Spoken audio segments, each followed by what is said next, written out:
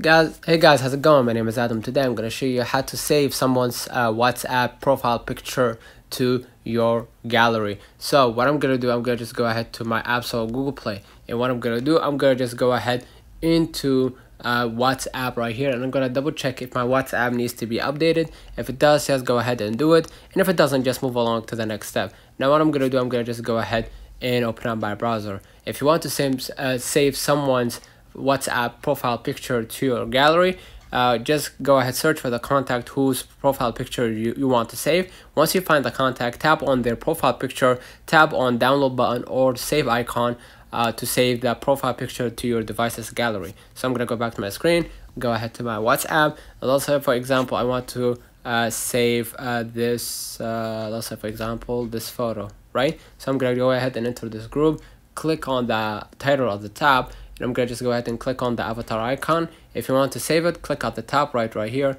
and click save image and now you can save the image to your wallpaper. Let, let me know in the comments if this video helped you. Don't forget to like and subscribe. Don't forget to follow us on social media and we will definitely see you in the next one.